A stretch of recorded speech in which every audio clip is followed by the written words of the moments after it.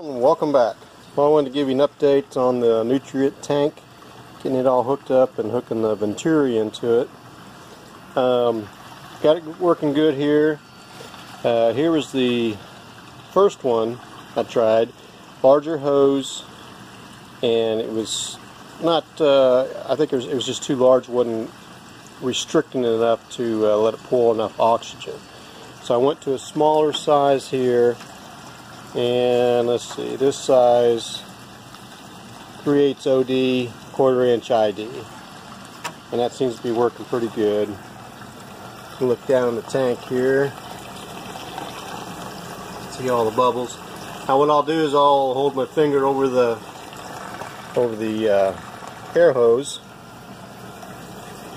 You can watch and see the water still going through but it's not pulling the air and as soon as you release it, you can hear it sucking air in there. So that's going to pump a lot of added air in the tank there. And like I said, it doesn't, doesn't cost anything. They're already pumping water. So that's working pretty good. So that part's done. Got the uh, plumbing hooked up on the racks here.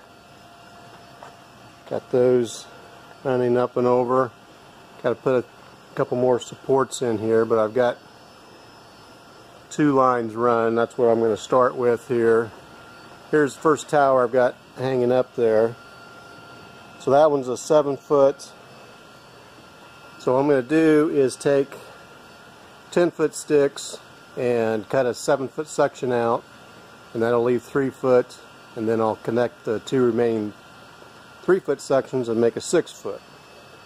So I'm going to try that and see how that works. And then that just runs back into those lines there, goes back into the tank.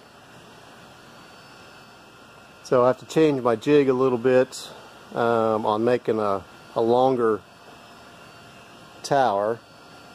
And I think even with uh, getting up here, like the top pot would be about here. I'm six foot it's going to be up about here. So I might have to get a little step stool to get in to work those or depending on the crop, um, harvest them, I could just pull them down, harvest them on a table. That might be the easiest, but we'll see. Uh, let me show you the jig, what I've got with that. Well, if you remember, well, way back when I first laid this out, did this test one, kind of showed you how I had a jig um, I did a simple tester for a three foot tower.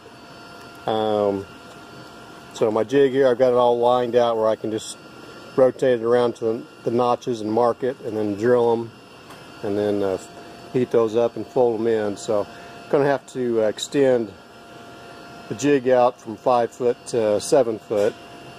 So that'll be the next project. I'll start working on that and get some towers going here. So thanks for watching and any questions or comments I appreciate it. And if you want to subscribe I appreciate it. Thanks a lot. Bye bye